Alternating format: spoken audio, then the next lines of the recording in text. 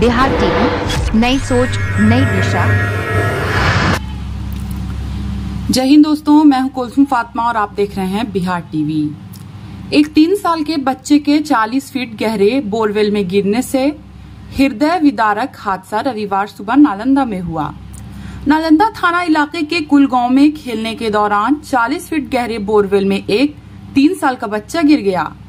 बच्चा डोमन मांझी का पुत्र शिवम कुमार है। साथ खेल रहे बच्चे ने जब इसकी जानकारी बच्चे के माता पिता को दी, तब जाकर परिजन को इसकी जानकारी मिली। धीरे धीरे ग्रामीण की हुजूम मौके पर पहुँच गया। नगर पंचायत नालंदा के उपाध्यक्ष, प्रतिनिधि नलीन मौर्य द्वारा रेस्क्यू ऑपरेशन में सहयोग किया जा रहा है। उन्होंने बताया है कि बोरवेल यहाँ के किसान के द्वारा बोरिंग के लिए बनाया गया था। लेकिन यहाँ बोरिंग नहीं लग पाया तो वो दूसरी जगह बोरिंग लगाने में जुट गए। और संजोग से इस बोरवेल को बंद करना भूल गए। इसी कारण आज यह बड़ा हादसा हुआ है। बच्चे तक ऑक्सीजन पहुँचाने और निकालने के लिए जेसीबी मशीन को बुलाया गया है। परिवार में चीख पुकार मचा हुआ है। थाना अध्यक्ष दिनेश कुमार सिंह ने बताया कि बच्चे को सुरक्षित निकालने का प्रयास किया जा रहा है। वरीय पदाधिकारी को भी घटना की जानकारी दी गई है। सभी तरह की टीम को लगाया गया हटाया जा रहा है।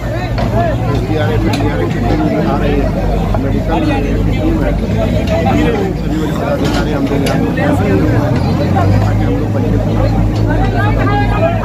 सीसीटीवी कैमरा भी लगाया जा रहा है। सारा हम लोग खुद देख रहे जितने भी आवश्यक जो चीज़ है सब लोग बच्चे के रोने की आवाज़ भी आ रही है क्या? की आवाज़ आ रही है उसको हम लोग